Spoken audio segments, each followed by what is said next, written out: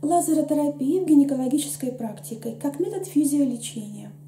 Лазеротерапия – это терапия направленным светом, направленным световым потоком, спектр лучей которого оказывает выраженное, а, то есть лечебное воздействие на любые ткани организма. А, терапия лазером. Вот какие ее, а, какое ее воздействие на организм? Во-первых, улучшение местного кровообращения. Во-вторых, устранение воспалительных процессов на пораженном участке – а, в-третьих, стимуляция местного и общего иммунитета. В-четвертых, снятие болевых ощущений. В-пятых, ускорение процессов саморегуляции и регенерации. Преимущество лазеротерапии – безболезненность процедуры, а, хорошая переносимость а, пациентками, не вызывает привыкания, что очень важно, не вызывает аллергических реакций, в 2-3 раза ускоряет а, процессы выздоровления, а, усиливает и улучшает действие лекарственных препаратов в составе комбинированного лечения, комплексного комбинированного лечения.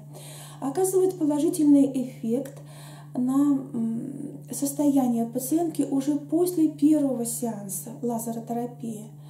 А, лазеротерапия оказывает длительное последействие, и, соответственно, а, уменьшается частота рецидивов хронических заболеваний.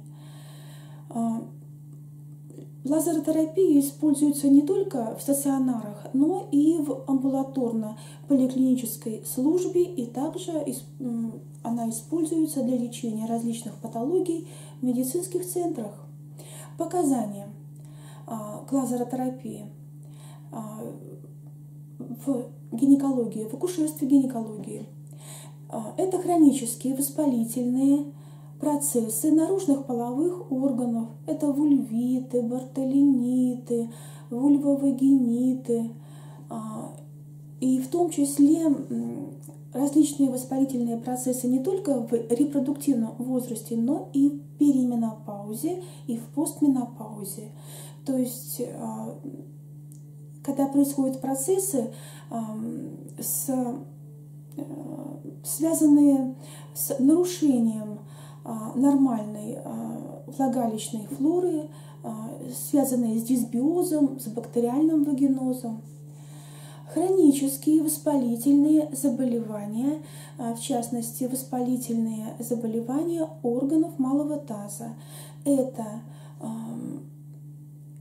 эндометрит, метроэндометрит, сальпингит, оофорит, аднексит, то есть сальпингоофорит. Это по-другому воспаление матки, либо слизистой, либо полностью воспаление матки всех слоев, э, воспаление маточных труб, воспаление яичников, избирательное, отдельное, либо все вместе. Это заболевание и рубцовые изменения шейки матки, цервициты, эндоцервициты, эрозии, эктопия. Это восстановительный период после гинекологических операций, в том числе после абортов. Это эндометриоз, вне обострения, а, бесплодие в составе комбинированной терапии – Э, различные виды нарушения менструального цикла в составе комбинированной терапии, синдром хронических тазовых болей и болезнь а, малого таза в составе комбинированной терапии. А, в послеродовом периоде это заболевание лактирующей молочной железы, лактостаз, мастит до образования гнойного очага, трещины соска, а, Вообще э, при беременности беременность является, как правило, противопоказанием для локальной лазеротерапии, но при беременности лазеротерапия может использоваться при лечении фетоплацентарной недостаточности, токсикоза первой и второй половины беременности а, в виде системной лазеротерапии, то есть внутривенного облучения крови. А, в послеродовом периоде лазеротерапия а, используется для ускорения восстановления матки и а, для более быстрого заживления швов промежности. У лазеротерапии в акушерстве гинекологии есть противопоказания. А, как и для любого физиолечения, на первом месте противопоказанием являются острые инфекционные и воспалительные процессы, а, в частности органов малого таза, фиброзно-кистозная болезнь в стадии обострения, миомы матки, кисты и опухоли яичников. Как у любой физиотерапии, вот у, лазера, у лечения лазером такие же противопоказания.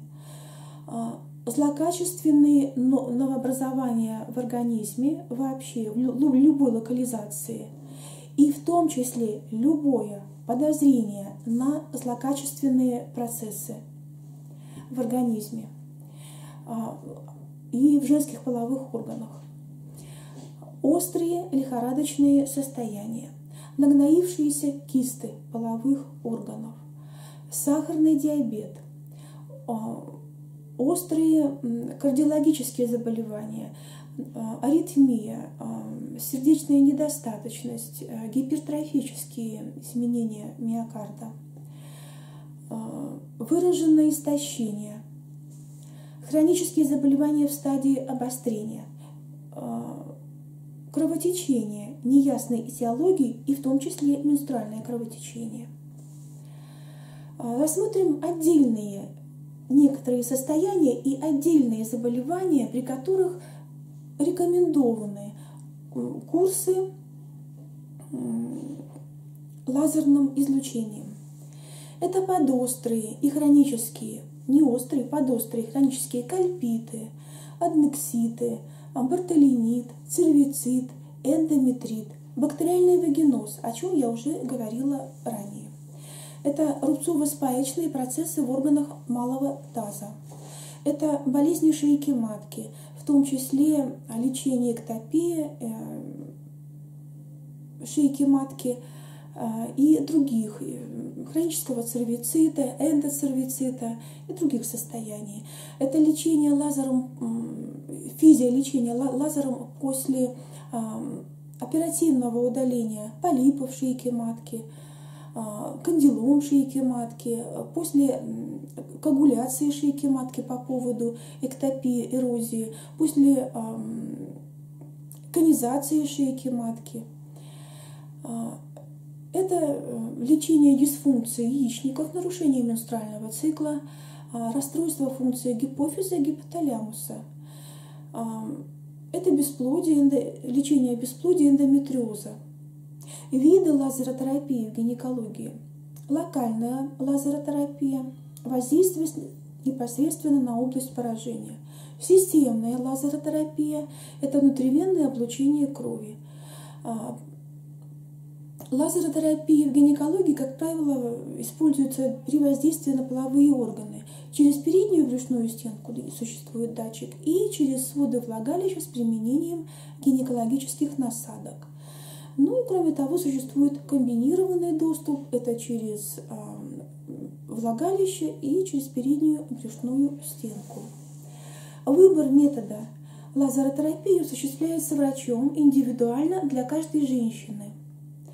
А, сеансы лазеротерапии лучше начинать с 5-7 дня от начала месячных.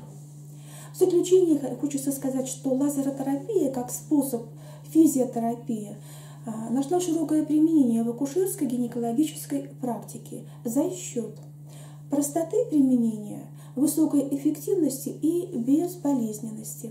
Однако у нее существует достаточно большой перечень противопоказаний, и лазеротерапия – это не основной метод лечения.